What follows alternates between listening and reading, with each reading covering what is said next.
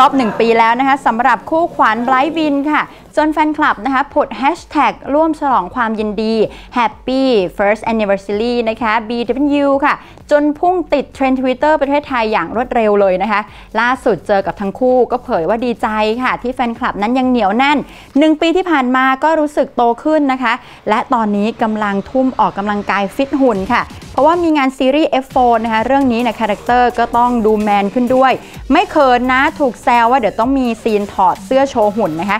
งานเยอะขนาดนี้หนุ่มไบรท์เนี่ยก็เผยว่าช่วงนี้เนี่ยก็เลยมีอาการป่วยนะคะเพราะว่าอากาศเปลี่ยนแปลง แล้วก็ทำงานเยอะมีการทานวิตามินเสริมอยู่ตลอดเวลาค่ะครบรอบหนึ่งปีที่เราได้เจอกับ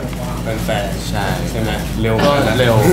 เร็วไม่มากไม่ได้นับกันเลยครับจริงๆก็ขอบคุณครับรู้สึกขอบคุณที่แบบแฟนๆยังได้ถึงแล้วอก็ยู่อะไรเงี้ยอยู่กันครบใช่หนึ่งปีครับ จริง ๆ มันก็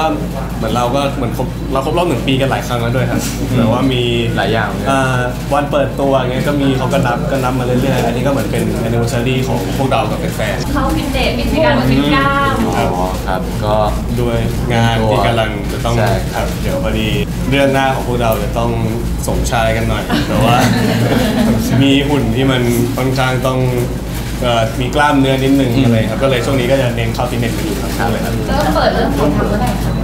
เอ่อตอนนี้ยังครับยังอยู่ในช่วงเวิร์กช็อปกันอยู่ครับ แต่ว่าคิวคิวน่าจะน่าจะกำลังวางกันอยู่นะดีครับคิวดีมากครับ อันนี้จะจะไม่เหมือนแบบสารวัตรไทน์นะที่จะเป็นแมนๆคือการต้องเจออะไรบ้างจริงๆผมมาเปลี่ยนเยอะนะอืมคือตอนแรกผมว่าอาจจะตัวเล็กอืมๆตอนนี้ก็เล่นเหมือนว่าอ่าเป็นแบบว่ากลับมาเป็น ร่างแกร่งมากขึ้นอ่าแบบว่าแข็แข็งงแรแรงงมามากกขึ้ขึ้นนแข็งแรงมากขึ้นเลยแล้วก็ด้วยเหมือนในเรื่องมันสนุกเลยครับ สนุกที่จะได้เป็นเป็นเป็นสี่คนเนี่ยก็เลยอืมกับช่วงนี้ enjoy กับการทำงานมากครับ